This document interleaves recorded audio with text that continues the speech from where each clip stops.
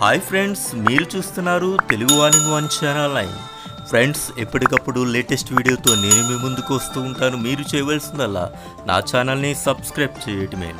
Friends DEd first year యొక్క time table అనేది మారింది ఫ్రెండ్స్. ఎందు గురించి అంటే ఆల్రెడీ జరుగుతున్నటువంటి ఎగ్జామ్లో టయాన్ని కొద్దిగా మార్పు అనేది చేయటం జరిగింది.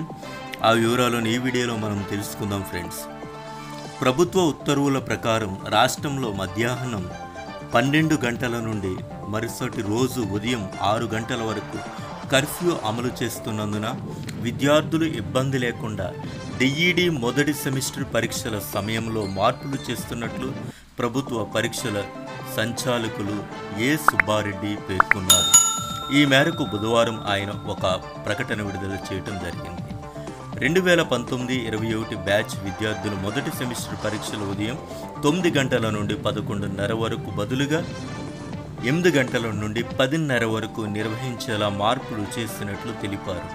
పరీక్ష సమయం ముగిసిన అనంతరం తిరిగి వెళ్ళేటప్పుడు పోలీసులు ఆంక్షలు ఉన్నట్లయితే వారికి హాల్ టికెట్లు చూపించవలసిందిగా కోరడం జరిగింది.